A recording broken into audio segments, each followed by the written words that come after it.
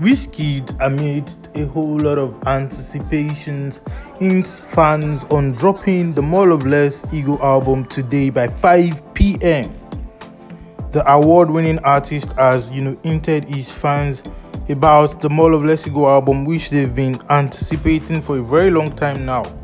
Last year, Wizkid updated fans that he will be dropping another album pretty soon after the Made in Lagos World Tour and so far so good. He has been making a whole lot of preparations and steps towards releasing the More Love Less Ego album.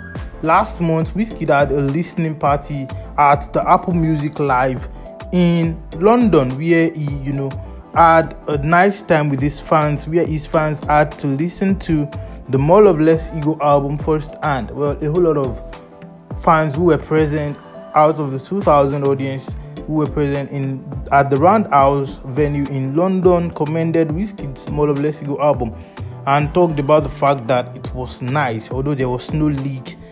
People were not allowed to bring in their devices. Now, Wizkid, some 12 hours ago, posted up with the hashtag More Love Less Ego with the love and the eagle emoji.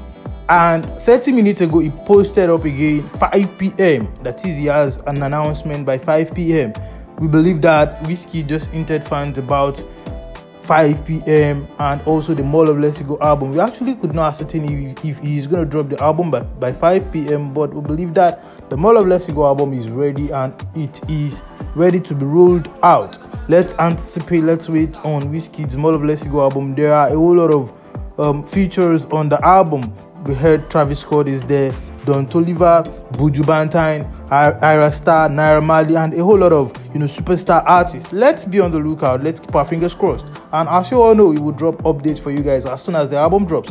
Just subscribe to this channel, turn, turn on post notification, and at the same time, like this content, pass your comment in the comment box. Till next time, thank you.